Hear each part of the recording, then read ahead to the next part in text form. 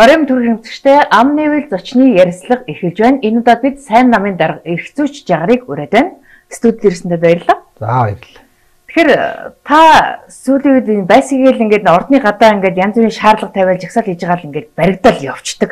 Тэгээд дахиад буцаж гарч ирээд дахиад нөгөө шаардлага тавиал ингээд яваад идэг. Ер нь ингээд шаардлага тавиад тэрнийхээ үр дүнг үзэж гин үү? Яагаад ингээд баригдаж явцсан мөртлөө байн бай буцаж ирээл дахиад асуудлыг гаргаж тавиад идэг юм болоо? Одоо хүртэл тэгэл өргөжлөө шаардлага тавьж л байгаа л да. Яг хоо зүгээр ингээд хүмүүс яг тань шиг асуултыг олон тавьдаг л да ингээд болчих болдгоо юм уу те эсвэл одоо үнэлтийн юм үнэлэх юм уу наач нэгээ. За. Тэгэхээр яг хоо төрийн ордны баруун хаалган дээр яг энэ тэмцлийг сүүлийн нэг 10 орчим жил хийсэн шилтгаан бол тэнд бүх дарга нар орж гарч штэ. Нөгөө бидний одоо дуу хоолой болох хэвээр хүмүүс. Тэг яг их хурлын дарга замдан шатартай хоёр удаа уулзсан.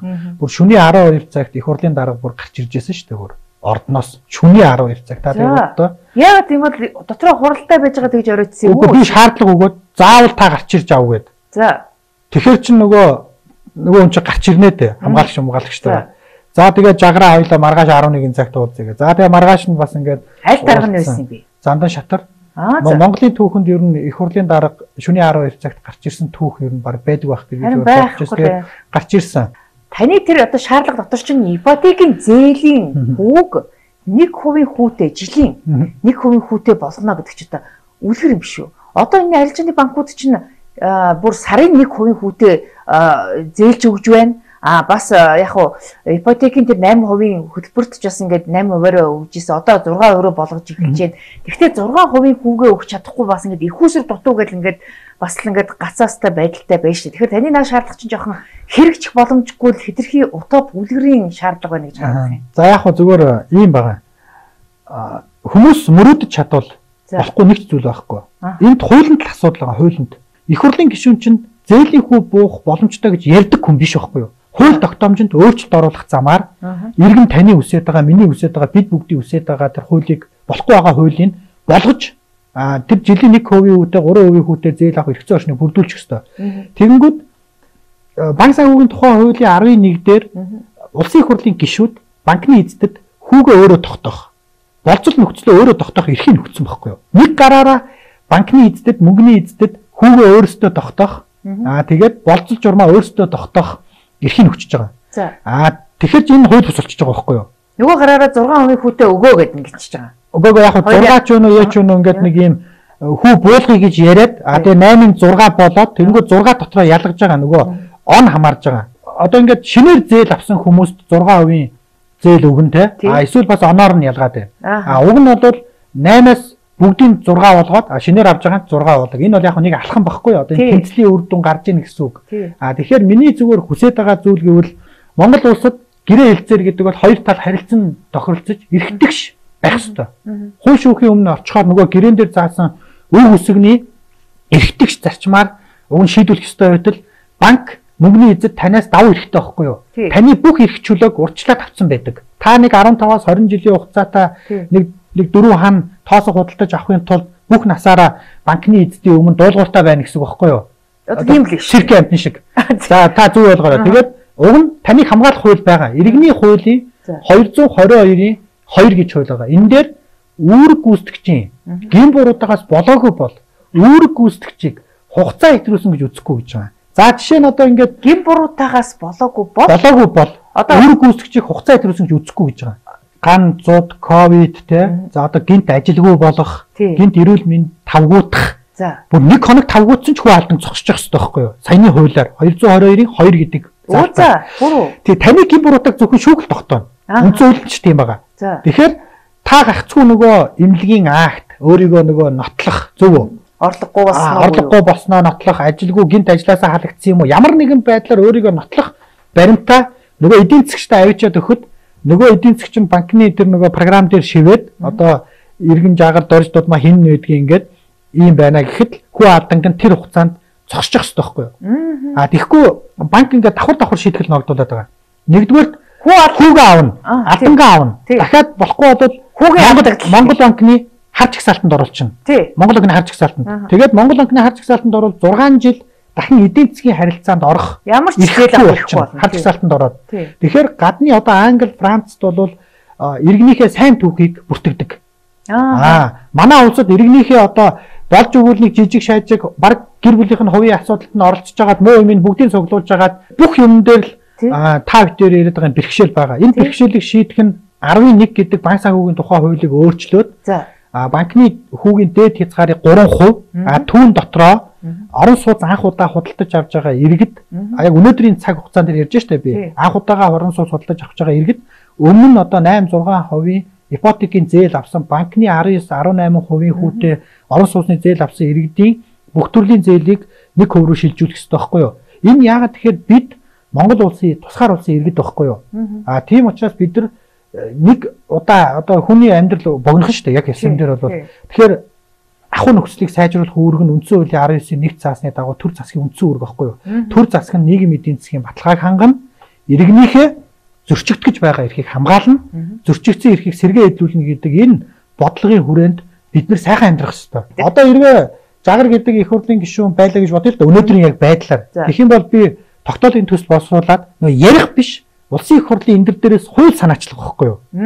Жилийн 3 өрөө шилжүүлье. За тэгэнгүүт одоо ингээ ярангууд жагаар худлаа ярьж байгаа тэгдэг ингэдэг энэ дайралтууд аягүй орж ирдэг нөгөө банкны эздээс ч юм уу ингээл фэйсбүүкээр дүүрэн миний нэр өндрөө халдсан шүү дээ. За тэгэхээр миний нэр хүндтэй байх үг нь чухал биш, үр дүн чухал, үр дүн.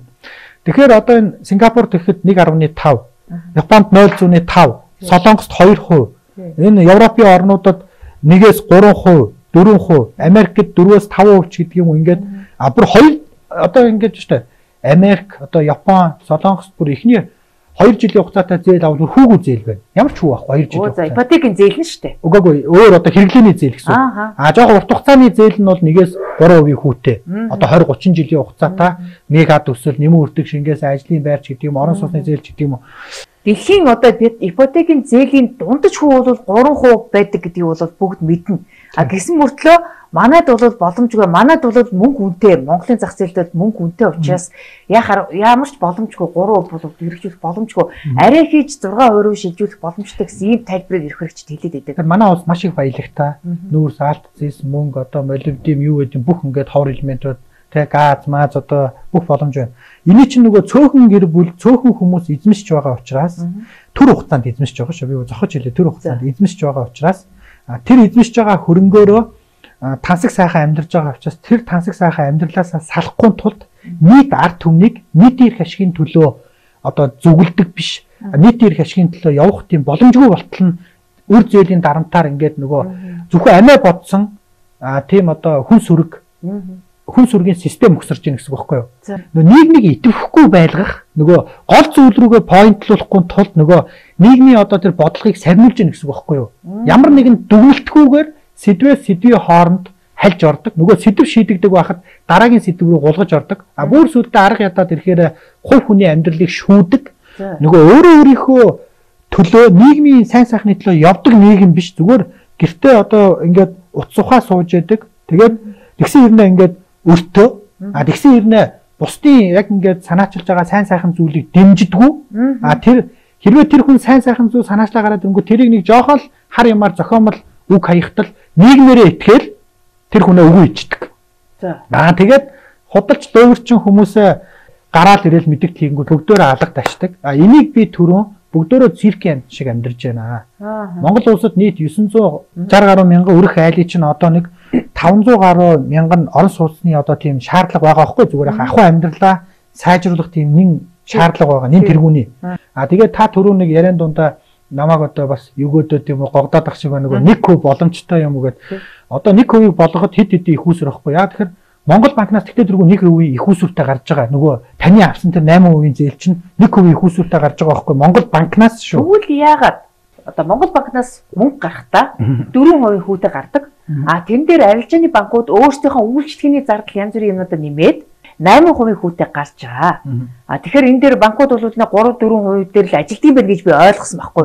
Тэгтэл та болохоор одоо 1% хүүтэй Монгол банкнаас мөнгө гаргадаг гэж. Тэгээ нэг юм буруу ойлголт яваад байгаа.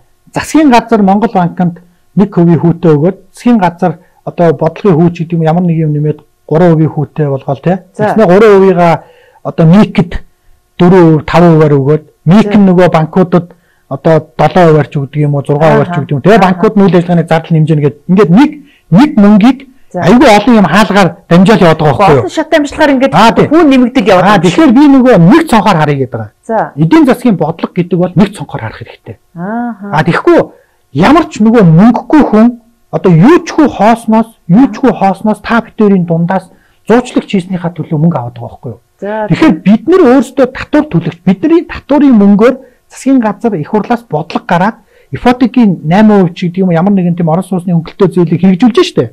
Тэгэхээр тэр нь одоо төрийн банкаараа шууд дамжаал дамжлахгүй биднэрт 1% үедээ ирчих хэрэгтэй байхгүй юу? Аа. Гэхдээ иргэдийг орон сууцтай ахуй хамжиргааг сайжруулах, амьдралын чанарыг сайжруулахын төлөө бол төр засаг тодорхой хэмжээний алдагдал үүрэх үүрэгтэй. За. Заавал ашигтай байгаа л үгүй шүү дээ. Аа. Үлэх хэрэгтэй Тэгэхээр байхгүй таны над нэг хувь чинь болвол одоо ядаж төрийн банкар дамжаад нэг хувийн хүүтэй олгогдох боломжтой гэж тайлбардаг. байгаа. Бусад арилжааны хувийн банкуд бол мэдээж одоо төрөний хэлдэг шиг хүүгээ өөртөө тогтоох нь чинь одоо хувийн компани бас үйл ажиллагаанд хэд оролцох боломжгүй шүү дээ. Монгол банк гэж байхгүй шүү дээ. Банк гэж байхгүй. Зүгээр нэг төрийн одоо юу гэдгийг энэ ард түмний татварын мөнгөн дээр тулгуурласан, нийгмийн даатгал, эрүүл мэндийн даатгал, бусад сан хөтөлбөрүүд дээр тулгуурласан нэг банкны лицензтэй нэг 2 3 хүн л хүн байгаа байхгүй дээ. 2 3 хүн эзэд нэг 11 банк байна шүү дээ. Тэгэхээр одоо гадны эрдэмтэд дүрт хэлчихлээ шүү дээ. Монголын одоо энэ банк үнэхээр ашигтай ажилт юм байна. Европын заяа. За. Европын одоо 5 банкны бүр 5 жилд олдог ашигыг манай нэг банк жилдээ олж яаг гэж боддоо. Европ ч том шүү дээ эдийн нь. Юу Европын Банктай 5 банк нийлээд үү? 5 банк нийлээд 5 5 жилд олдог ашиг манай манай нэг банк жилдээ нэг жилд олго. Тэгэхээр Ээ. Монгол банк гэдэг систем байхгүй. Аа. Тэгээ танийхаар бол яда банк биш юу юм? Гэхдээ мөнгө хүлэгчд. Одоо би мөнгө хүлэгч гэж хэлснийхаа төлөө хаан уул дүүргийн шүүхэр шийтгүүлсэн шүү дээ. Жагар За. мөнгө хүлэгч гэж хэлсэн гэдэг. Тэгэхээр мөнгө хүлэгчд гэж хэлснийхаа төлөө одоо жишээ нь Япон эзэнтэй банк улсын нэр төрийг хамгаалаад одоо одоо намайг уучлалт гуух шийдвэр гаргачихж байгаа. Одоо тэр газраас Шүүх үү? шүүх. Гурван шатны шүүхээр. За. Та За. уучлахгүй нь үү? Би сая 2-7 хоногийн өмнө хэвлэлийн урлагийг гуйсан л та. За. Гэхдээ одоо тэр одоо Гоохгүй л яах байсан тэрийг? гуухгүй бол одоо 20 цагт асуудал гарна шүү дээ. Уучлалт гуух шийдвэр дээрээс нь нэг 70200 төгрөг байлуу мөнгө төлөх. Одоо би удахгүй бас телевизээр дагуулж байгаа нөгөө банк ус дээр нөө Япон эзэнтэй банк ус нөө Японд очиж нөгөө 70200 өгөхгүй бол бас болохгүй шүү дээ. Зүгээр тэрэн дээр бол энэ банк босуудын одоо энэ өдрийн зээл гэдэг байгаа энэ одоо их хэмжээний өдрийн 10-аас бараг 30% хүүтэй зээл өгөөд байгаа. Энэ асуудал дээр чинь иргэд сөхрөөд бараг байр байшингаа алдаад байгаа юм асуудал байна. Одоо би наадгаж өөрөө өмгөөлөд явж шүү дээ хүмүүсийг. За. Одоо ингээд өчнөө 100 мянган яг иргэд тийм байдалд орсон. Тэгээ яг Монгол хүний нэг нэрлэхүү зам байд юм байна л да. Нөгөө э, тухайн асуудлаараа нөгөө телевизээр гарч болохгүй. Одоо та бодлоо. Сая төгрөгийн зээл аваад өдрийн зээл аваад буцаага 50 сая төгрөг болгож өгчөөд тэгээд өрнөөсөө гараагүй юм биш. Нөгөө өдөр болго хүүгээл өгöd байгаа байхгүй нөгөө юм чинь. Оо за за. Нөгөө яг өөрхий тантай адилхан бас ингээ 1 2 хоног гитэрчингүүд нөгөөх нь даабалтаад хүүгээс хүү бодоод хүүгээс нь дахиж хүү бодоод нийлмэл хүүгийн аргаар ингээд бодоо олгож штэ ерөөсөө. таны түрүүний хэлээд байгаа одоо ингээд жишээлбэл ингээ хүнтэг шалтгаантай болоод тэр хүү алдангийн одоо зогсоож явах хэрэгтэй гэдэг яг зөв хууль байна штэ. А банкн дээр ч хэрэгжихгүй банк бус дээр ч бас хэрэгжихгүй байна. тий яг хөө ингэж байгаа энэ 222-ын 2 гэдэг хууль их хурлын гишүүн сайд дарга тэдний хамаарал бүхий иргэд тийм байдалд ороод хэрэгжинэ. Ягаад тэгэхээр тэр чин дарга их мэдлэлтэй юм баггүй юу? Аа иргэн та бит хоёр дээр бол хэрэгжихгүй. За. Тэгэхээр ягаад тэгэхээр хууль хоёр нүртэй байна гэсэн үг. Хуулийг хүн захираад байна. Уг нь хуульд бид нар захирах хэрэгтэй тийм үү? Тэгэхээр та өөрөө хаан уул дүүргийн иргэдийн хурлын төлөөлөгч ч юм уу. Тэгэхээр энэ дүүргийн иргэдийн хурл чинь яг юу хийд юм бэ? Одоо миний ойлгосноор бол яг дүүргийнхаа төсвийг ерөнхийд нь батлаад одоо аль хаана юу эрэхтэй байгаа тэр зардлыг хуваарлдаг хүмүүс гэж бодоод байгаа. Тэгээд удирдалтаа бас билүү бас нэлээд их хэмжээний урамшуул авчдаг юм шиг үлээ. Удирдал дүүрэг- тутамд нэг 10-аас 20 Угаа 5 сая төгрөг. Дүүргийн иргэдийн урал 5 5 нийслэлийн иргэдийн урал нэг 20 сая төгрөгч байлоо авдаг байжгаад тэр хэмнэлтийн тухай хуулиар болиулсан 3 байхгүй юу? сардаа нэг удаа. Тэр нь гэхдээ цалин биш шүү. Зүгээр үйл ажиллагааны зардал. Тэр чинь яг нэг хүмүүс чинь тойрог дээр очиод уулзсан нэг заалмаал түрээслэнгээд тэгээ яг иргэдийн урал чинь хоёр л хэрэгтэй. Газар зохион байгуулалт дид бүтцийн асуудлаар тухайн хуралдаж байгаа хуралдаанд одоо иргэдийг төлөөж одоо санал оруулах, хилэлцүүлэх, батлуулах одоо ийм л нэг эрх байгаа. За. Тэгээд гурав дахь эрх нь бол таны төрөний хэлдэг э, Э, дүүргийнхаа төсвийг батлна. А тийс өөр нэг тийм онцгийн одоо оронтооны бус маягийн л واخгүй юм чинь өлөрөлд юм уу жилд 1 2 удаа хуралддаг тий. А тэгэхээр мэдээж эрэг анхан шатны нэгж буюу дүүрэг нийслэлийн иргэдийн хурлын төлөөлөгч нарын тэр одоо их хэмжээ хязгаар нь жижигхэн. А тэгээ урамшуулын насцсан юм байна. Гэхдээ ерөн зүгээр нэг та бүхэн зүгээр цалингүй ажиллахгүй л бэ л үү дээ. Одоо царын цалин хийдэв. Уггүй би одоо жишээ нь хаан улс дүүргийн иргэдийн хурлын одоо зөвлөх гээл ажиллаж байна тий. Тэгэхээр нэг сая 700 мянган төгрөний цалин авдаг. Аа за. Тий. Тэгэхээр ер нь бол яг нөгөө манай иргэдийн уралчдаа хичнээн одоо ардын намын байр сөрөг хүчний харьцаа эрх баригч сөрөг хүчний харьцаа ямар вэ? Ер нь ардын нам 35 төлөөлөгчөөс 27. За. За тэгээд ардсан нам, хүн нам, шин нам гэдэг нэг ингээд хэсэг хүмүүс байна. Би ч юм бол би дагч дээ. А би дагчаар урсан тий. Одоо тэгээд та би дагч байжснаа сайн гэдэг нэртэй нам байгуулчих шиг болсон. Би та түрүүн өөрийгөө танилцуулахдаа сайн намын дарга гэсэн. Тэгээд би энэ сайн нам гэж одоо хизээ байгуулагдсан нам юм бол гэж бодож ийл л да. Тэгэхээр одоо э, дөнгөж саяхан байгуулагдсан нам юм а да. За бид нар 2021 оноос эхлээд ингээд нам үүсгэн байгуулах ингээд процесс яваад а тэгээд ингээд явсаар агаад улсын дээд шүүхэд бол сая 23 оны 5 сарын 8-ны өдөр бүртгүүлээд одоо албан ёсоор гэрчилгээгээ аваад ингээд үйл ажиллагаагаа бас 7 сарын сүүлээр бид эхэлсэн байгаа. За. Тэгээ ерөнхийдөө бол нэг 5 сар тэгэхээр ч одоо нэг дөнгөж 6 сар тий 6 сар орчимд болж ийн гэсэн үг байхгүй юу? За тэгэхээр их л нялх нам байна л да. Тэгээд отох нам шүү дээ. 37 отох нам. За тэгээд одоо 6 сартай нялх нам өмнөх одоо 36 ах эгч нар намаас одоо яаж одоо өсөлтгүй өсөлтөн болоод нэлээд одоо тэнцвэргүй болох магадaltaй. Тэгээд одоо энэ ирэх парламент чинь 126 гишүүнтэй болно гэж байгаа шүү дээ. Тэгэхээр 126 хүний нэр дэвшүүлэх тийм потенциал боловсрогчны нөөц танаа намд бий болж амжсан уу? За мэдээж хүн болгон тэгж асууж байгаа. Сонирхож байгаа. За мэдээж эрэг одоо 48 жагсаалт 78 тойрог дээрээ манайх одоо пул хангагдсан гэсэн үг бүр илүү гарц. Одоо дунд нь нөгөө шалгаруулалт явж штэ. Одоо шинэ ингээ зарим тойрог дээр давцчихад штэ 2-оос 3 хүн. За тэгэхээр миний одоо зүгээр намын даргын байр суурь манай намын баг хурал өдөрдох зөвлөгөөд дээд байгууллага одоо энэ намын хамт олон болвол Монгол улсын одоо салбар салбарын зөвлөх инженеруудыг дэвшүүлээч. За а инженеруудыг дэвшүүлээч одоо салбарын инженерууд гэсэн үг шүү дээ. За тэгээд эдийн засагч нар одоо энэ санхүү те эдийн засгийн чиглэлийн хүмүүсийг дэвшүүлээч. Хуульч нар дэвшүүлээч. За яг ямар ч санаа бол нэг инженеруудыг гол төлөв ер нь дэвшүүлэх тийм магадaltaй байгаа юм байна тийм үү? Тий, өвөө магадaltaй шууд тэгнэ. Аа, танаа намын гишүүн болцсон гэсэн үг үү? Болцсон тий. Аа за. Одоо ингээд өрсөлдөө нэлийн ширүү явна штэ. Мэдээч одоо ингээд тодорхой мөнгө зардал гарна. Тэгэхээр одоо тэр нөгөө нэг мөнгөтэй бизнесмен юм уу том намуудтай ингээд өрсөлдөхэд ер нь та бүхэнд санхүүгийн их усэр хэрэгтэй шин. Тэрийг хаанаас яаж босгох юм бэ? Инженерүүд бол бас тийм баян одоо чинэлэг хүмүүс бас байдаггүй шүү дээ. Байдаггүй яг зөв. Тэгэхээр би зүгээр яг хоо иргэдийнхаа ой санамжийн тухай асуудал ярих гэдэг л да. Бид ерөөсөө олны танил энэ мөнгөтэй гэж сонгож ерөөсөө болохгүй. Манай одоо намд байгаа тэр инженер эдийн засагч нар хууч нарыг хинч танихгүй. Яг зарим нэг нь цухас цухас таньж магадгүй. Гэхдээ нийт олонхоороо манай намын нэр дэвшигчдийг бүгдийг танихгүй. Одоо энэ хандлагаасаа бид нар болох хэрэгтэй байхгүй. Нэг юм олны танил, дуучин бүх одоо юу гэдгийг тэр корпорац, группийн захирал гэхээр сонгодог ийм тогтолцоогоо одоо болчих хэрэгтэй. Ер нь энэ сонголтыг хийснээс хойш Монгол улс ингээд уламл хөгжлөнд ороотод байгаа байхгүй юу. Яг би ард түмнээс гуйна л та. Үнэхээр за үнэхээр амьдрал чинь одоо өнөөдөр сайхан байгаа тийм үү? За одоо энэ хоёр нам одоо 30 гаруй жил сонгогдоод үнэхээр та бүгдийн амьдрал сайхан байгаа бол энэ хоёроо дахиад сонгож болно. За. А хэрвээ амьдрал чинь болохгүй байгаа бол манай сайн намд итгэл хүлээлгээд за бид засгийн эрхэнд одоо мэдээж ирэх жил бол засгийн эрхэнд гарна гэдэгтээ маш 100% итгэлтэй байгаа. За яг эрхэнд. эрхэнд би өөр таныг засгийн эрхэнд гарах байтугай нэг хоёр суудлаа авч чадах уу? Энэ нэг он дээрээ л танах ингээд сонгуульд орох гэж штэ. Тэгэхэр чин одоо яаж одоо засгийн эрх авах байтугай ер нь одоо нэг ер нь бүлэг байгуулах хэмжээний суудлаа авч чадах уу? Агуу засгийн эрхэнд гарах одоо ийм бүрэн боломжтой. Яа тэгэхээр бид мэдэн штэ. Бид засгийн эрхэнд гараад одоо яг салбар салбарын асуудлуудыг шийдэх ийм биднэрт мөрийн хөтөлбөр байна. Бүх нам л тэгж мөрөөддөг. Нөгөө намуудын мөрийн хөтөлбөр өөр шүү. Тий. Өөр. А биднийх болохоор шүү дээ. Одоо Зисологоор Улаанбаатар хот суурин газруудыг холбоё гэж байгаа. За Улаанбаатар хотын Зисологоор шугам сүлжээгүү? Тий, шугам сүлжээг. Улаанбаатар хотын өнөөдрийн халуун хүтэн усны дид бүтцэл 700 гаруй километрээ. За 700 гаруй километрээс нэг 540 орчим нь бол улсын мэдлэх За нэг бас нэг 200 орчим нь бол хувийн аж ахуйн нэгжүүдийнхаа. За. Тэгэхээр нийт энэ 700 гаруй километр дид бүтцийг а ерөнхийдөө нэг 70-аас 80% 50 жилийн насжилттай байхгүй юу? А зэвтэй ус гарч байна. А тэгээ баталгаагүй ус ууж байна гэдэг хүмүүс жоох юм бухимдалтай байна шүү дээ.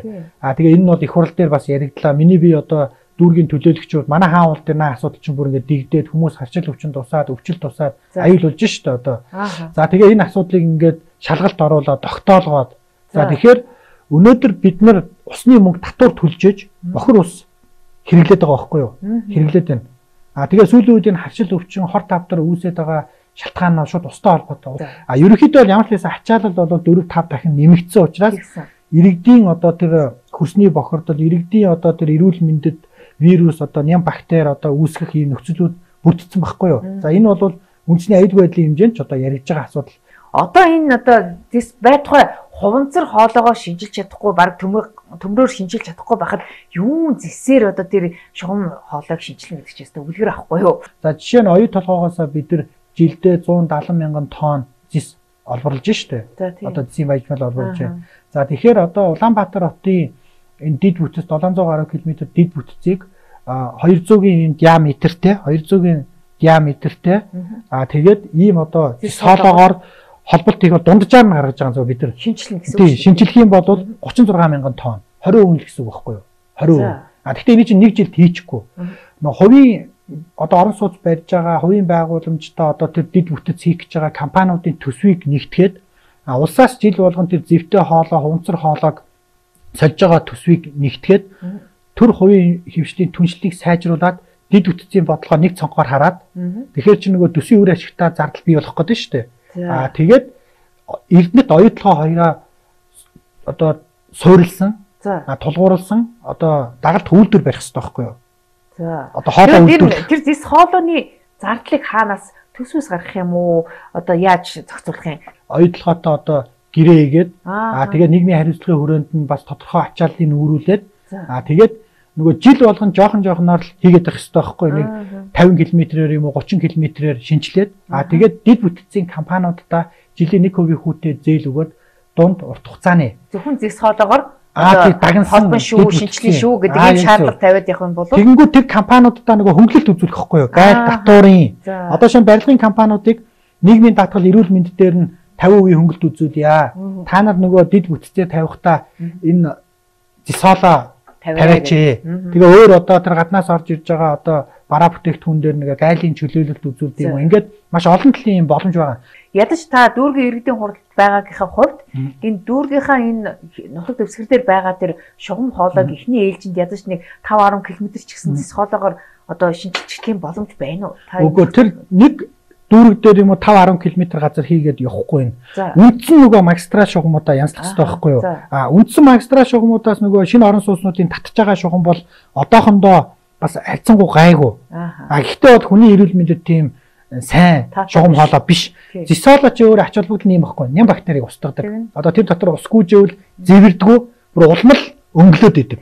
Аа нөгөө хуванцар хоолой аа нөгөө зэвтэй шугам сүлжээчин бол өөрөөсөө ингээд дандаа хүний биед одоо хэрэггүй тийм Европын нэлийн олон орн бол одоо зис хоолойгоор шинжилсэн юм байлээ шүү дээ. Тэгэхээр бид нар зисийн нөөцөөрөө дэлхийд тэргүүлж ингээд байхгүй зовлон чадахгүй зовлон ярих биш. Одоо өнөөдөр тулгамдсан асуудлыг 30 гаруй жил шийдвэрлээгүү. Зүгээр л ярьдаг, нэг баахан ярьдаг их хурлын гишүүдтэй. Тэгэхээр одоо ингээд нийслэлчүүдийн хамгийн тулгымцсан асуудал үед энэ утаа төгжрлийн асуудал шүү дээ. Тэгэхээр энэ утаа төгжрлийг яаж шийдэх юм бэ гэдэг дээр ер нь тодорхой гарц байна уу? Танаа нам бодож байгаа юм байна уу? За яг одоо ингээд төмөр зам зам тий одоо энэ дид бүтцийн асуудал дээр бол бид нэр утаа төгжрөл гэдэг бол дид бүтцтэй л холбоотой байхгүй юу?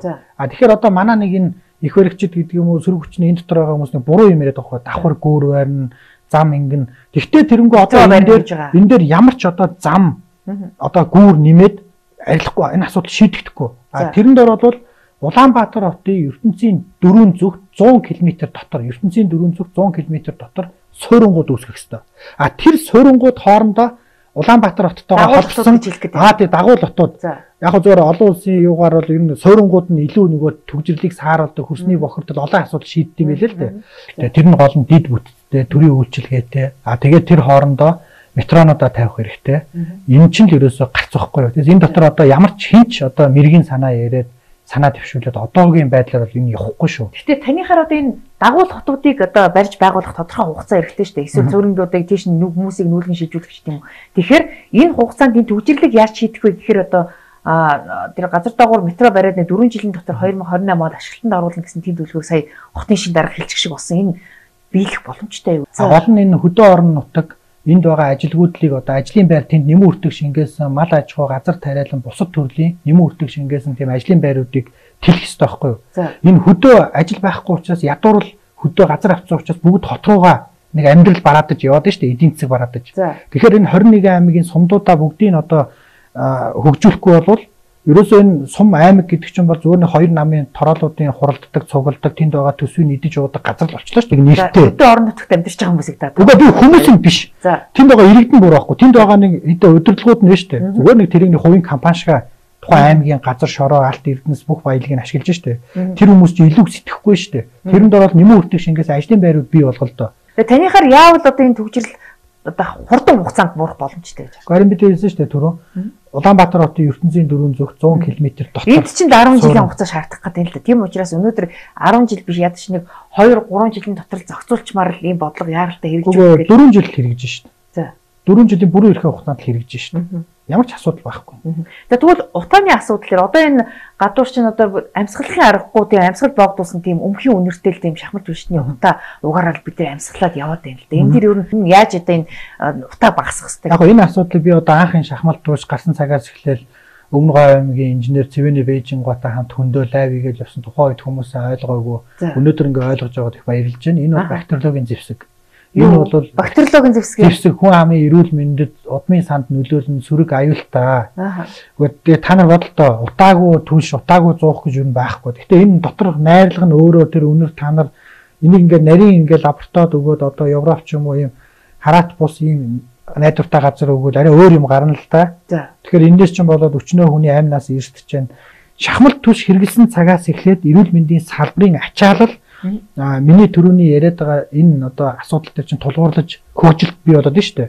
Тэгэхээр энд ямар нэгэн учир шалтгаан байна. Яг би зүгээр арай жоохон өндөр одоо өөр одоо тооноор илэрхийлчлээ шүү дээ. Бактериологийн зэвсэг гэдэг. Би шууд тэгжил хүлээж авч байгаа хувийн хувьд. Аа. Тэгэхээр танаа дүүрэг бол бас энэ утаа бол танаа дүүрэг бас зүйлийн үед манай дээр туршилт хийхээр нь би хийлэхгүйгээр баахан тэмцээд тэгээ манай дээр арай бас гайгүй жагар хил ам хийгээд байна гэдэг. Тэгэхээр та бодолтой одоо бүхэл бүтэн төрийн сайд хүн хан уул налаах багнаар туршилт хийнэ гэдэг. Тэгэхээр туршилтыг одоо хими одоо тий технологийн тэр одоо эрдэмтэн мэрэгдэд амтан дээр хийдэг болохоос хүн дээр хийдэг юм уу? Одоо яг иргэдийн төлж байгаа энэ шахмал түвшний найрлагыг сайжруулад коксчин нүүрсээр ингээд шахмал түвш хийх гэж байгаа маа гэдэг чинь. Тэр нь тэгээд уул нь тийм муу туршилт биш байх гэж би ойлгосон шүү дээ. Үгүй юу? Үгүй. Тэгтээ төрийн сайд хүний амнаас тэр ямар юм эмч эмнэлгийн ажилч юм биш шинжилгээ ухааны лабораторийн ажилтан биш тий Аа тэгээд одоо туршилт хийнэгээ зогсож яах гэдэг бол энэ өөрөө нэг асуудал. Энэ нэг юм хилээд байгаа асуудал байхгүй юу? За. Тэгэхээр ямар ч танад дүүрэг дээр бол туршихгүй мэн өөр дүүргүүдээр туршина гэсэн үг юу гэж ойлгох вэ? Би одоо ямар ч хэлсэн хил ам хийсэн. Тэгээ одоо манай дээр аваа гайгүй л байгаа юм шиг лээ. Гэхдээ яг зарим нэг хорон дээр нь бас хэрэгжээд зарим дээр нь гайгүй. Ааха. Тэгэхээр танаа дүүргийн одоо засаг дарга алдар жавхлан болоо саяхан ингэж хэлж ирсэн. Ер нь энэ дүүргийн иргэдийн хурал гэдэг чинь ер нь баг одоо ямар ч өөрөг одоо ройлгүй тийм ер нь их мэдл багтай нэг ийм л одоо а юу бүтэц болчиход байна. Тийм учраас энэ дүүргийн иргэдийн хурлыг татан болгосон болно гэдэг ийм үгээр хэлээдсэн та санал хийх үү?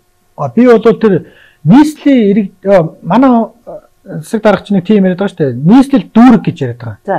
Аль нэг нь гэдэг байгаа. А би бол нийслэлийн татан болгох гэж ярьж байгаа. Нийслэлийн 45 төлөөлөгч гэж бол ямар ч хэрэггүй. Зүгээр тэнд тэнд нийслэлийн 45 төлөөлөгч чинь нийслэлийн засаг даргыг шантаажлж тендер авдаг. А тодорхой эрх ашгаа хангаж тэнд нэг э, төгжил хийж суудаг хэдэн нөхдүүд байгаа шүү дээ. А дүүргийн иргэдийн хурал гэж бол бас яг хөө зүгээр ажил чадвал уг нь ажил хийх юм бэлээ. Тэгээ тэр нийслэлийн иргэдийн хурлын тэр 45 хүн чи миний ойлгосноор бол одоо энэ дүүрэг дүүргээс сонгогдсон тэр дүүргийнхээ эрх ашгийг ярьдаг хүмүүс л орж байгаа учраас харин одоо та жишээлбэл нийслэлийн иргэдийн хурал ороо суудсантай ялгаагүй юм шүү. Үгүй шүү дээ. Тэгэхээр ингээд адилхан эрх мэдэлтэй дүүргийн нийслэлийн гэдэг төлөөлөгч нэр нь өөр болохоос адилхан их үүрэгтэй байхгүй адилхан. За дүүрэг нийслэл хоёрын алийг үлдээх үлдээх вэ гэдэг дээр бол та дүүргийн дүүргийн үлдээх гэж нийслэлийг байхгүй болгох гэдэг. Тэгвэл сайхан бас хотын шин дарга Нямбатар бол одоогийн 9 дүүргийг хатан болгоод 42 дүүрэг болгоод энэ хороод гэдэг энэ шат амжилтыг байхгүй болгоё гэдэг ийм саналыг бас оруулах гээд ярьж байгаа юм байна. Энэ боломжтой юу? Гэхдээ наа чин зөв шүү. Энэ нэг 200 гаргаж хэлээ 300 орчим энэ хороог татан буулах хэрэгтэй. Энд бол шүү дээ хов ярьдаг ховын хутгуур хийдэг, улс орныг эв нэгдлэгөө болгодог. Ямар ч мэдлэг боловсрал байхгүй. Би тэгтээ бүгдийг хэлээгүй. Яг тэр дотор олон дунд сайн хүмүүс байгаа. Ерөөсөө энэ намын хоёр намын хутгуурууд тэнд суугаад хороонд орж ирсэн төсөв мөнгө тусламжийг хувааж идээд тэнд амьдрдаг ийм шимэгчд үүрлцсэн газар байхгүй юу? Уг нь энэ хорооныхын чинь зайлуул одоо ингээд тэр дүүргийнхаа иргэдийн хинэн ямар шуухан амьдрдгүү гэдгийг тулж ажилдаг. Тэгээд хинтэн тусламж хэрэгтэй хэрэггүй сайн мэддэг л улсууд гэж хараад байна. Уг яг олон дунд таны яриад байгаа сайн хүн байгаа. А гэхдээ дийлэнх олонх нь намын тороол болцсон. За. Тэгээд тэр хороон дээр зөвхөн хүмүүсийг хэмжээ хэмжээнд нь барьдаг. Ааха. Чи гурил будаага аваад амьдр. Чи шил архиа уу? А чи бити дүүр одоо бүр ийм асуудал гарч шít. Одоо нэг хорооны иргэн дүүрэг рүү ирнэ штэ. Дүүрэг рүү ирээд дөрөв лүгэнгүүд араас нь уцтад загинжиж хэсгээ халах чинь. Чамаа хин дүүрэг рүү яв гэсэн. Тэгэхээр дүүрэг дээрээс нэг нөхөр хэлж шít. Ягаад энэ нэг балиар юм дүүрэг дээр явж байгаа юм Тэгэхээр нэгсэндээ хүмүүсийг нөгөө хинжээ хэмжээнд нь барьдаг ийм систем одоо манад ам бүхтэй байгаад байна. Энийг одоо бүр нураах хэрэгтэй. Тэгэхээр хороогууд огт татан буулгаад тэгээд 42 дүүрэгтэй болох юм бол иргэдтэйгээ тулж ажиллаж чадах уу? Гэхдээ хороонд байгаа тэр ажилчдаар нь одоо төрийн албаны шалгалт аваад үнэхээр чадвартай соёлтой үнэнч шудраг авилгал авдггүй иргэдийг тэгж одоо даралдггүй ялгуурлдгүй тийм хүмүүсийн дүүрэг рүүгээ татаа тэнд нэг цонхны үйлчилгээнүүд бий болгоод болоохгүй да.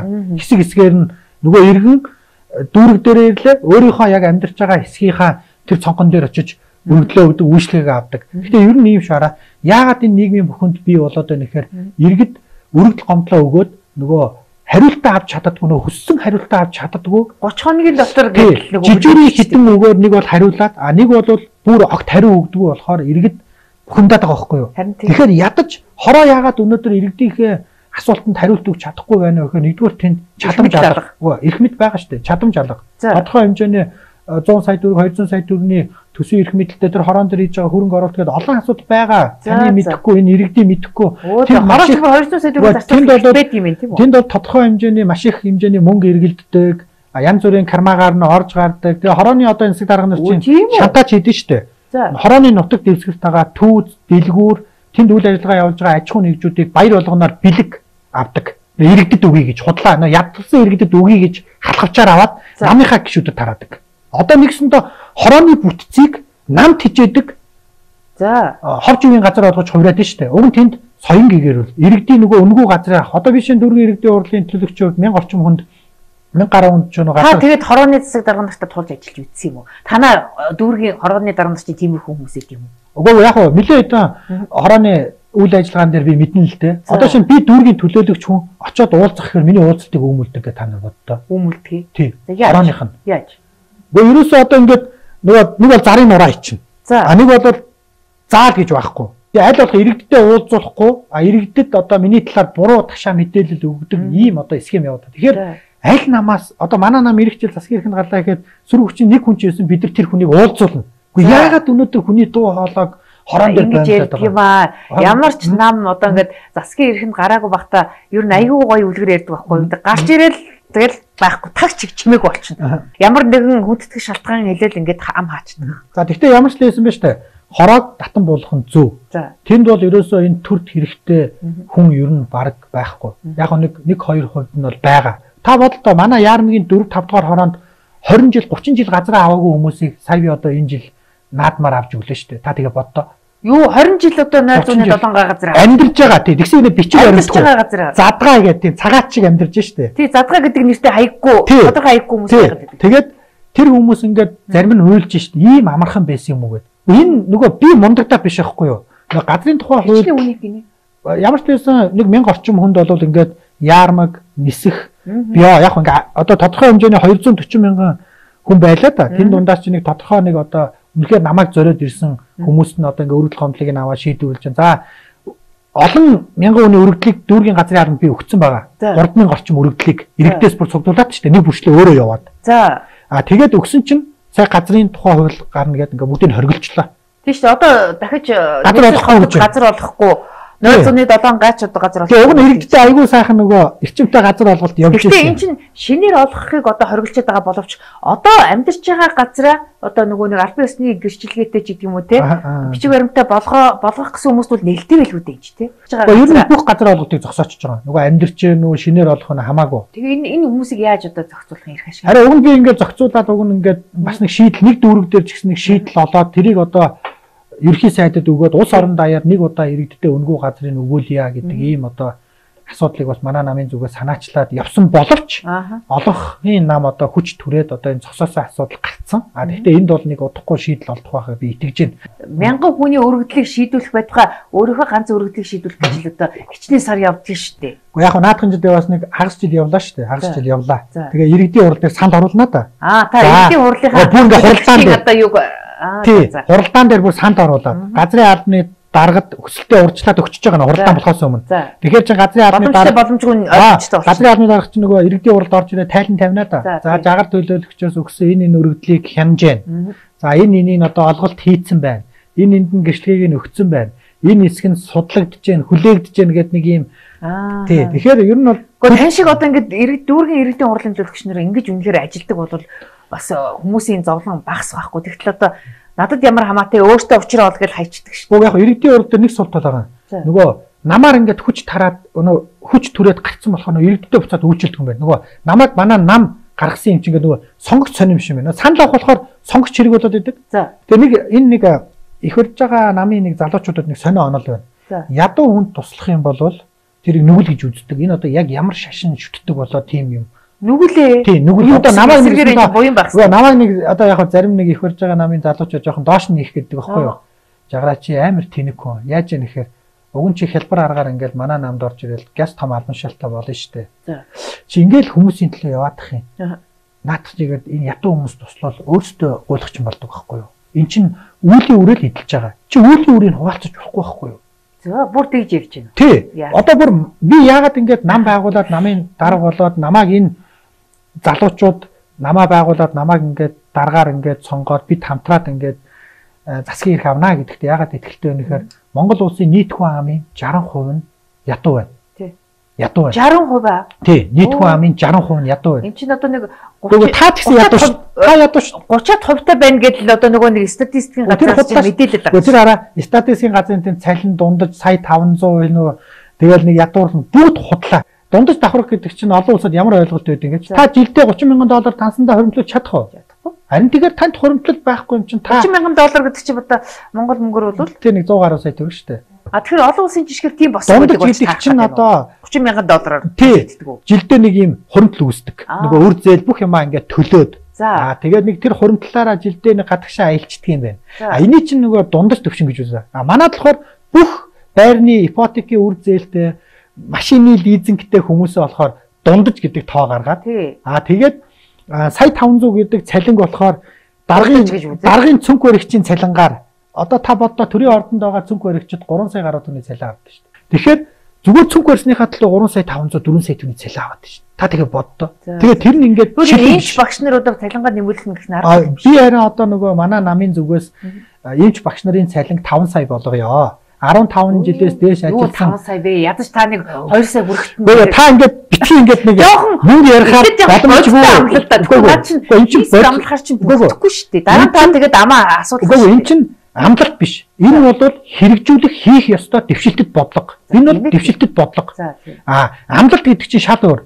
Хүлэгдэхийг хэлнэ. А бид бүхэн манай намын хамт олон болвол бодиттой тооцоо судалгаатаад юм яриад байгаа юм баггүй юу? А тэгвэл та бас нөгөө эх жилийн сонгуулиар 5 сая төгрөг э, цалин хүрсэнгүйгээд 4 жилийн дараа танаас одоо та гişүүн болчвол танаас одоо ингээд намайг чи асуугаал сууж авах та. Үгүй ээ бид хэлж шүү дээ. Олонх болох юм бол яг одоо таны хэлдгээр болох юм бол одоо зарим нэг хүний хэлдгээр би бол болно гэдэгтээ итгэлтэй байгаа. Үнэхээр сар болгон одоо энэ э, иргэд маань 5 сая төгрөгийн цалин аваад амьдралын чанар нь сайжраад эрүүл мэндийнхаа оочргүй сайхан үзүүлчдэг хүн гэдэг утгаараа амьдрах тэр нөхцөлийг дэвшилтэд бодлогыг хүлээн зөвшөөрж ивэл биднийг сонгоорой. Та жишээлбэл өөрөө одоо яг ядуу юм уу дунд чи өөрийгөө ер нь аль төвшөнд байдаг гэж үздэг вэ? Одоо энэ дөрвөн иргэдийн хурлын төлөвлөгч чинь сая 700 сая төгрөгийн цалин авдаг гэж штэ. Тэгэхээр энэ цалингаараа та одоо гэр бүлээ тэжээж гин үү? Ам бол одоо хэдүүлээ өөр нэмэлт орлого юу? Би бол яг өөрөө хууль судлаач бас хүмүүст хуулийн зөвлөгөө өгдөг. Хүн чинь бас нэг нөгөө ажилтан туслаад өгөхөөр маа гэдэг нэг урамшуул өгөн тийм үү? Бас нэг э, мэдээж хэрэг өөрийнхөө борчуудаа үнэхээр боломжгүй хүмүүстээ үнгүү үйлчлэгийг нь үзүүлээд а үнэхээр боломжтой хүмүүстээ бас хүний мэдлэг би энэ хуулийн мэрэгжлийг эзэмшихийн тулд зөндөө нойргүй онсон зөндөө юм унссан тий хүний хөдөлмөр штэ тэгэхээр өөрийнхөө мэдлэгийг би үнэлүүлдэг. А тэгэхээр юу гэдэг цалингаасаа гадуур тодорхой хэмжээний бас одоо хуулийн зөвлөгөө өгөөд ингээд орлого орох тийм боломжтой тийм ам бод манах тавуулаа. Тавуулаа 3 хүүхэдтэй. А хүүхдүүдтэй нь улсын сургууль явдаг уу? Улсын сургууль явдаг уу? Улсын сургууль яваа. Улсын сургууль. Улсын адил тий. Аа гэрийнхээ ойрхон сургуульд явуулж байгаа эсвэл сайн ингээд арай өөр одоо Үгүй ээ зүгээр л э, гэрийнхээ хажууд одоо ямар сургууль байна тэнд нь л явуулна шүү дээ. Улсын сургуульд явуулна. Тэгэхээр юусэн хувийн улсын гэдэг одоо энэ ялгаагаа гаргахгүй бол улсын сургуульд сууж байгаа хүүхдүүд нь ядуу юм шиг нөгөө хувийн сургууль төлбөртэй сургуульд сууж байгаа нь баян юм шиг ийм одоо ийм боловсролын ялгаа хүүхдүүдийн хүртэл дунд нь ингэж ангилдаг сортлтгоо болох хэрэгтэй байна. Тийм баг тийм. Гэр бүлийн одоо бизнес гэж байхгүй мэй. Танай ихнэр ямар хуульч ажилтай. Хоёул адилхан хуульч юм шүү. Тэгэхээр энэ хоёр бол нийлээд бараг тийм хуулийн фирм байгуулчихар юм байна. Угаасаа фирмтэй байхгүй. Аа за за. Тэгэхээр хуулийн фирмэрээд хоёр ингээд бас нэмэлт орлогоо олоод явчих. Тэгээд ч юм бас одоо хажуугаар нь ихтэй сургуулиудад цагийн багш яг зөв нөгөө ийм маш их нөгөө өөрийгөө нөгөө юм завгүй байлгах сонирхолтой. Би өөрөө бол. Та одоо жишээлбэл энэ дүүргийнхаа зарим одоо хэцүү байдалд орсон иргэдээ өмгөөлөө тэднэрт ингээд э, туслаад зөвлөд явж ин гэж штэ. Тэр одоо хашаа байшингаа алдах хэмжээний байдалд орсон. Дахин төлөвлөлтөнд ороод нөгөө газраа хөлөгтүүлсэн. А 100% байрны мөнгөө төлөөд байрандаа орчтаагүй. Ингээд нийт 20 орчим мянган хүнийг өмгөөлөд хамгаалаад 20 мянган хүнийг өмгөөлөд ганцаараа барж гинүү тэгээд яг хоо манай багийн хамт олон би нөө та намайг ганцаараа гэж төрөнөөс хойш ингээд аа намайг өгөөгөө ганцаараа гэд эсвэл одоо танаа наан засгийн ирэх аавна гэдэгт итгэхгүй ба нэг хоёр суудлаа авал их юм юм гэдэг одоо ийм маягаар болохгүй шүү дээ. Би бас өөрийн гэсэн энэ баг хамт олонтой тооцоололтой бас ингээд ахмад залуу дунд үеийн төлөөллийн үгийг сонсоод эрдэмтдийнхээ судлаад ирсэн зүйлийг л би тантай ингээд ярьж л тодорхой үеийн тэгэхээр манай нам салбар салбарт байгаа зовлон бэрхшээлийг шийдвэрлэх а дээрэс нь ард түмний амьдрал шүүх хурлын танхим шиг болгоцсон байгааг аз жаргалтай болгох ийм одоо бодлогоодыг бид нэвтрүүлнэ. За би яагаад ингэж танаас ингэж жоохон одоо хатгаж асууж ийн гэхээр одоо 20 жил би сэтгүүлчээр ажиллахдаа олон парламентын нүүр олон засгийн нүүр үзлээ. Ингээд бол яг тань шиг ингээд намын дарганаар ч юм уу одоо нөлөө бүх албан шалганд орж ирээд айгүй гой мөрөөдлийн жагсаалт ярьдаг байхгүй юу? Яг бодит байдал дээр ингээд мөнгө хүрсэнгүй, ингээд боссонгүй янз бүрийн шалтгаан хэлээд эргээд ингээд тайлбарлээ сууж идэг байхгүй. Тийм учраас би одоо ер нь одоо итгэхэ болчаад гэж асуугаад байна. Мөнгө байхгүй тухай битээр мөнгө байгаа. Шийдэх гарцсан 44 44 их найдын нүүр сулгаа ихээр мөнгө байгаад байдаг. Аа ногоо хатуу сулгаа ихээр мөнгө байгаад байдаг. Жидүү хөгжлийн банкд ингээ ер нь боловсролын зээлийн сан гэд энэ сүүлийн 30 гаруй жил болсон хулгайг ихээр мөнгө байгаад байдаг. Яг иргэдтэй та битээр яриад байгаагаар орон сууцны жилийн нэг хувийн хүүтэй зээлээр өгье. А нэмэн үртэг шингээсэн үндэсний үйлдвэрлэгчтэй урт дунд хугацааны нэг хувийн хүүтэй зээл өгье одоо мал болон газар тариалан ногоо одоо тарьж байгаа одоо энэ үндэсний үйлдвэрлэгчтэй дэмжиж ихээр мөнгө байхгүй. Боломжгүй. Ингээ байхгүйгаараа гайхуулаад байгаа байхгүй. Тэгэхээр энийг байхгүйгээр ойлгуулдаг ордон дотор байгаа ах эгч нар байна. А байгааг нь ярьж байгаа жагрыг одоо шоочилдаг, нэр хоч өгдөг, нэг ийм баривчилдаг, хонголддог нэг ийм улсад амьдарч байна л да. Гэхдээ би бууж өгөхгүй л дээ. Түрүүн та нөгөө олон удаа баривчлагдсан чинь ингээд гандан буурахгүй ингээд дахиад шаардлага барайл гүйдэг гэж штеп. Тэгэхээр ер нь одоо таныг ингээд баривчлаад одоо яг хамгийн удаан хугацаанд одоо хэдэн цаг ингээд саатуулж исэн бэ? Яг нь ерөнхийдөө нэг 48 цаг дэнжи мянган нөгөө баривчлах байранд л хонолд нь штэ. Яг гоо тэнд хонолж байгаа шалтгаан нь бол нөгөө дахиж нөгөө ингээд байгаа. Чи эндээс суллагдаад дахиад талбаараа очно гэвэл чамааг хорно. А суллахгүй. Тий. За. За тэгэхээр чи мэдээж ирэх хүн чинь за би очихгүй гэж хэлээд нэг хоёр онцоор гарч ирэл дахиад очиж штэ. Тэгээд дахиад баригдаа явна. За. Надад тохиолдож байгаа энэ бэрхшээл бол зөвхөн миний асуудал. Яг тэгэхээр би өөрөө энэ замыг сонгосон. Танаа гэр бүлийн хүмүүс аав ээж ах トゥ нар чинь дургуц. Ерөнхийдөө яг хөө ер нь ийм хил амтай юм руу байн бай ордон руу очиж ингэж хил ам хийж яах гэдэг юм бэ? Яг хөө бүгд бол намайг дэмждэг. Яагаад дэмждэг вэ гэхээр яг өнөөдрийн ингээд нийгмийн амьдрал хүнд байгаа. Мэдээж эрэг надад итгэдэг маш олон мянган хүн байгаа. А энэ 10 жилийн хугацаанд ч бас давтагдсан тоогоор олон мянган хүнд хүний эрх ашиг хамгааллаа шүү дээ. Сайн муугаар хилэгдэж. А гэхдээ бидний нийгмийн нэг л алдаа байна. Ой санамжийн асуудал байгаа. Одоо шинэ оюутлахаа нууц гэрээг 2018 онд би ил болгож, бүрийн ихээр нь ил болгоод 2019 онд Ириотинтогийн Монголд үйлдсэн гэмт хэрэгүүдээс гэдэг ном гаргаж тэр гэрээг тэр номон дээр хөвөлт гаргасныхаа төлөө би хуулийн хонглоор ороод улсын нууц задруулсан хэрэгээр Сүхбаатар дүүргийн цагдаагийн хэлцээр байцаагж жагаад тэгээ прокурор намайг хэрэгсгүй болгосон байхгүй юу? Тэр онгилгын гэрээ чинь нууц нууц биш гэсэн хоёр хэсэг болж таарад байна тий? Тий, яг нь олон нийтэд үзүүлдэг нь ямар нэгэн нууц биш. Зүгээр нэг симбиозны. Аа яг би ч нөгөө ажлын хэсэг гишүүнээр ажилласан байхгүй юу? Их хурлын дарга Виагомби Инколдын захирамжаар 2018 оны 3 сарын 27-ны өдөр оюу толгойг шалгах ажлын хэсэгт ажиллаад тэгээд 200 гаруй хүн ажиллаж штэ. Би болохоор иргэний нийгмийн байгууллагыг төлөөлж ажилласан байхгүй юу. Тэгээ яах вэ зүгээр дотор нэрсэн хүн надад тэр гэрээг нөхөр нь тэрийг дэлгсэн. Тэр чинь миний үүрэг штэ Монгол хүний эх орноо хамгаалах. Тэгсэн чил баах хуулийн өнгөлөөр орсон. Хин нэгний одоо зориглоогүй эсвэл бусдын төлөө өөрийнхөө төлөө амьдрахад ямар хэцүү байна өнөөдөр. Тэгтэл би бусдын төлөө тодорхой цаг хугацаагаа зарцуулж явж байгаа. Тийм биз? Тэгэхээр энэ бол нийгмийн тодорхой хэсэгт хүндлэгддэг, тодорхой хэсэгт нь адлагддаг. Аа тэгээд адлагдана гэдэг нь юунаас болдгийг гэхээр банкны хүүг буулгах бүрэн боломжтой. А энийг бодиттой ингээд яриад эхлэнгүүд нөгөө мөнгөний эзэд намайг гутаанд оромжлох ажлыг захиалга өгж байгаад хэдэн мянган тороол ажилладаг. А тэгэл ингээд яг би ингээд маш олон асуудал дээр тэмцэжсэн. Олон асуудлын оролцогч өөрөө би.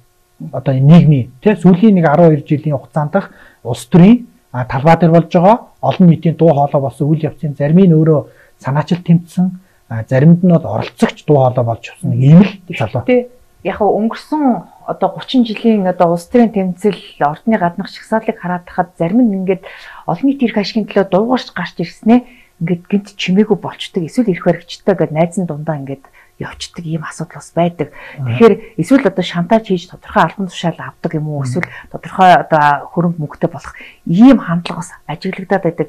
Таныг тэгчихвэ гэсэн ийм бас хардлага байна. За зөв. Одоо ийм байгаа. Хид хідэн төрлийн хүмүүс байгаа. За та түрүү хэлчлээ. А миний хувьд бол намайг нөгөө тэдний одоо таны сая ярьсан шиг тим сегмент рүү оруулах гад эдэр үзээд орохгүй байгаа учраас надад эцсийн бүлэгт нэр хоч өгдөг байхгүй юу? Аа бас тэгж янз бүрийн мэдгүүлдэг. Алдуулдаг одоо тий. Татгалцах аргагүй санал тавьж исэн тохиолдол байна уу? Ойлгомжтой шүү дээ. Оюутлогоо гэрээг дэлгэхэд наадхаа бити дэлгээч ахын дэ нэгд хөдөлсөн галт хэрэгжтэй Америк руу яваач гоё сургуульд явуулъя. Ингээл бүр арт талбарын аягүй судалсан байж юм билээ. Нэгээс нь хар гэр занал хэлж ийн гэсэн үг шүү дээ. За. Хүүхчин хэдэн настай юм бэлээ энэ тий. Йоо за. Танах тэнд байд юм билээ тий. Тэгэл ингээл ингээл ерөнхийдөө нэг тийм сонин тийм маягийн имийг бол одоо хууль хяналтын байгууллагын одоо баримтчилгааны үеэр тодорхой одоо харанхуй өрөөнд оруулж агаад зөв бус тийм санал тавих. Одоо тий цаагаараа ер нь нэг зөв болчихооч оронд нэг ийм асуудал байна гэл ингээл тий. Монголоос явчихаач л гэдэг. Тийм Монголоос л чи явчихаач гээл одоо жагарл явчвал энэ Монгол улс сайхан болох гээд байгаа гинэ гэдэг ч юм уу. Одоо нэг толон шиг доомор хэлэхэд. Гэхдээ би бол бас залуу хүний хувьд Солонгост очиж бас нэг тодорхой хугацаанд ажил хийж үзчихсэн. Гэхдээ ер нь юу гэдэг хүн эх орноос зүхтаж тий амар хялбар амьдрал эсвэл амар хялбар мөнгө хураах тийм одоо орон зайг өөртөө бий болгож болохгүй. Хүн ямар ажил хийжсэн Солонгос? Би Солонгос зүгээр хар бор ажил хийжсэн. Шүү дээ.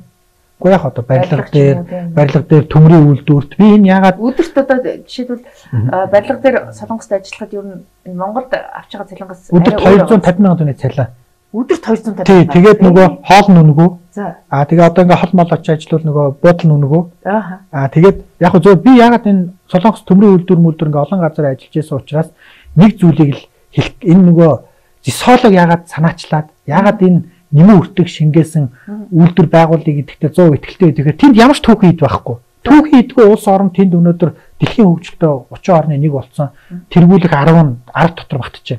Гэтэл бид нар түүхий идтэй. Тэгэхээр өнөөдөр та бол төмрийн өдрийг 1 тонны 400 доллараар гаргаж байна. Түүхийгээр нь. А хагас боловсруулбал 1500 доллар. Хагас боловсруулбал. А хадаас хийх юм бол 5000 доллар. Загсны дэгээ хийх юм бол 50000 доллар. Ингээд нэмэн үртэг шингээсэн ийм бүтээгдэхүүн хийж болохоор байгаа байхгүй юу? А зүгээр бид нар түүхийгээр нь бүх юмаа гаргаад байгаа учраас энэ Монгол улсад үлдэх юм алга.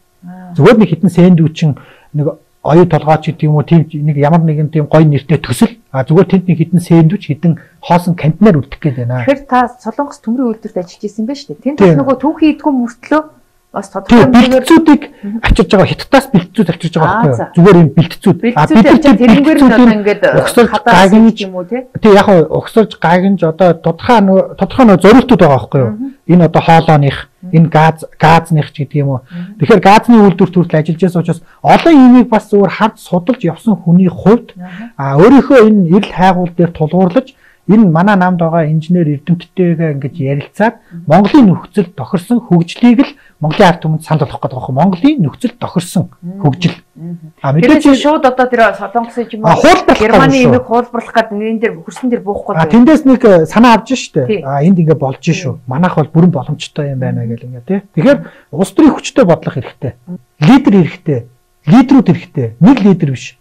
Олон лидерүүд хэрэгтэй Монгол улсад. Тэгжээд бид арчлаа хамгаална Тэгжээж бид нар хоёр үрштэйгөө ингэдий хараа хоёр үрш манахыг ягаад дэрлэгдэг гэж Ягаад гэрээ хэлцээртэй үнч гэж. Цөөхөн хүн амтай. Цөөхөн үнтэй биш. Манай улс төрчид эдийн засгтай гэдэл бас дээрлэх шалтгаан. Манай улс төрчид очиод хувийнхаа асуудыг шийдүүлчихдэг учраас тэн дээр нь бацаалаад зөрүүлээд зөв бус хууль бус юм шаарддаг байхгүй. Чи энэ ордыг манад авч өг. Энийг ингэж өг тэгэж өг гэд ингээд. Бүрүү. Тий. Та одоо нэг үндэслэлтэй юм ярьж байна юм чи. Үндэслэлтэй. Таамаглаад байна уу? Эсвэл цугаар яриад байна уу? Гэхдээ та бодлоо хоёр үрш маань тэгвэл ингээд тодорхой хэмжээний эдийн засаг нь ингээд болоод идэг. А манайх ингээд бүх юм болохоо байсан тухай яриад идэг. Тийм биз? Тэгэхээр энэ бол одоо ингээд яг мөнгөгүй зовлон яриад идэг шүү дээ. Тийм мөнгө бол мөнгө бол бүр хангалттай бүр ингээд таны бүр ингээд тоонд багтахгүй одоо тооны машинд багтахгүй тийм их мөнгө байна заяа. А тэр их мөнгийг бий болгохч боломж байгаа. А зүгээр яг зарим нь одоо энэ буржинч гэж өөрсдийгөө ойлгоорой. А гэхдээ хүн дэвшилтэд бодлогыг ярьсан тэр багийг дэмжиж амьдрал ахуй сайжирдээ шүү. А 33 жил таны нүүрс алтцис мөнгийг хулгай хийсэн потенциал байхгүй толгоо өө одоо тий а тэгээд одоо тодорхой гадны нөлөөлөлт автцсан гадаадад одоо офшор танстай ийм хүмүүсийн хамааралтай хүмүүсээр төрөө өдөрдөөснөөс болж төрийн аль нэг шатанд дарга болгосноос болж өнөөдөр бид нөгөө зүү юм ярьсан залуучуудаа боломжгүй гэж хардаг өнцөг бий болгоцсон а худлаа зүйл ярьсан хүмүүсээ алга даш дэмждэг ийм л одоо тороолын улс орон болцсон байхгүй да. Ер нь бол манай улс тороол болчлоо шүү дээ. Сонголтоо буруу хийснээс уснаа л гэж тавчхан тийм. Зарим иргэдийн сонголтын буруугаас болж өнөөдрийн энэ балаг намаг шавхаа бий болсон шүү. Зарим иргэдийн шүү би бүгдийг нөлөөгөө. А ухамсартаа бидний энэ бодлогыг дэмжиж байгаа хүмүүс байгаа. Тэгэхээр сэтгүүлч би танд хэлэхэд юм байна л да.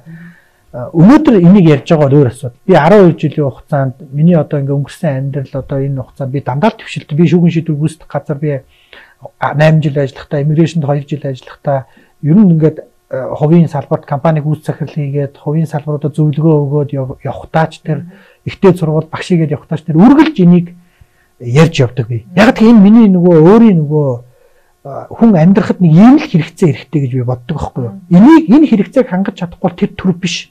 Төр гэдэг чинь уг нь арт түмнээ хэрүүлийн айлмаар хоололдог, талцуулдаг, шууд бодлого нь хэрэгжээд Тэгэхээр эн чинь өөрөө нийгмийн зөрчил бухимдлыг бий болгоод байгаа байхгүй. Тэгээд нөгөө талаар бас ингээд шүүмжилсэн сөрөг хүчин нь баг байхгүй ингээд нэг хүнчлэлд орцсон. За тэгээд эсвэл одоо сөрөг хүчний үүргийг гүйцэтгэж байгаа хэвлэл мэдээллийн амыг хаах гэсэн ийм бас хандлага дарамт ажиглагдаад байна л гэж хараа. Тий, ерөнхийдөө энэ хэвлэл мэдээллийн дөрөв дэх засаглалыг бол үгүй их хандлага маш их явж байна. Яг гоо гэхдээ энд бол нийгмийг бас эргэлзүүлчтэй шүү дээ. Айгүй шижигтэй шижигтэй мэдээллүүд яваад байна. Тэгэхээр ерөн зүгээр цаг хугацаа бүгдийг харуулна гэдэг шиг цаг хугацаа харуулах байх. Гэхдээ цаг хугацаа харуулна гэд ингээд асуудлыг орхидог нийгэм баймааргүй байна. Харуулна гэд орхидог өөрсдийгөө тайтгаруулдаг нийгэм баймааргүй байна. А эсвэл нэгнийгээ нэггээ нэг юм үнэн ч юм уу худлаач юм мэддэхгүй мэдээлэл тавингууд шууд тим гэд хармааргүй байна. Хардаг тим нийгмийг а тэгэхээр ийм бүх юм сайхан олон талаас нь дүгэлт хийдэг, эрэл хайгуул хийдэг өөрийнх нь амнаас одоо та бүхэн хоёр энийг уулзаж үзэж ижил нэг нэгэ дүгнэн өгөхөөс ш уулзаж үзээгүй ижиж нэг нэгэ талаар одоо ярих юм бол энэ ч өөр утгагүй байхгүй. Тэгэхээр манай нийгэм өөрөө огт уулзаж үзээгүй хүнийхээ тухай шууд ялалдаг, шүүдэг. Одоо би нөгөө арт түмний амьдрал шүүх хурлын танхим шиг болцсон байна гэдэг чинь арт түмэн а ядуураад а ингээд нэгсэндээ тодорхой их хурлын гишүүдийн хэлдгээр улны болоод ирэнгүүтээ нөгөө жоохон чадаад явж байгаа нэгийг үзий яддаг хандлага а энэ нөгөө чадаад байгаа хэсэг нь энэ хэдийгээ бас дорд үздэг хандлага буюу ингээд нийгмийн эмх замраагүй байдал нийгмийн ив нэгдэл алдагдаад байгаа байхгүй юу. Тэгэхээр улс орон хөгжинө гэдэг бол нийгмийн ив нэгдэл асар чухал. А нийгмийн ив нэгдэл дээр тулгуурласан хөгжлийн бодлогоодыг хийх хэрэгтэй. А бид бол эх жил бол засгийн эрх аваад одоо тантай энэ яриад байгаа бүх асуудлаа нэгдүгээр хэрэгжүүлнэ, биелүүлнэ. А 28 онд тэ та бүхэн дандаа өө чи жагараа танаа нам хэлсэндээ өрсөн байна. Та нөгөө таны 8% чи 1% болцсон. А тантай адилхан мянга мянган хүмүүс нэг хөв болцсон. Тэг ийм л байна. Тэг төгжөр дутаагүй болцсон. Ийм сайхан ерөөлтөө одоо өдөр одоо уулзнаа одоо гэж хэлмээр дээ. За ингээд бидний ярилцах цаг өгөр дуусч байна. Ингээд бидний урилгыг хүлээж авч ярилцсан өгсөндөө баярлалаа. Тэгэхээр дүүргийнхаа иргэдийн эрх ашиг хамгаалахын зэрэгцээгээр цаашдаа их хурл хэрвээ парламентод танаа нам сонгогдох юм бол таны сая ярьж исэн гой гой амлалтууд, гой гой зорилтуудаа одоо яг бодиттой хэрэгжүүлэхийн төлөө ажиллаарай гэж хүсье. Ингээд танд амжилт хүсье. За баярлалаа танд. За баярлалаа. За манай энэ удаагийн ам нэвэр зочны ярилцлагаар хаан удуугийн иргэдийн хурлын төлөөлөгч сайн намын дарга жагаар оролцлоо. Ахаалан тасан үзэгчтэй хүнд баярлалаа.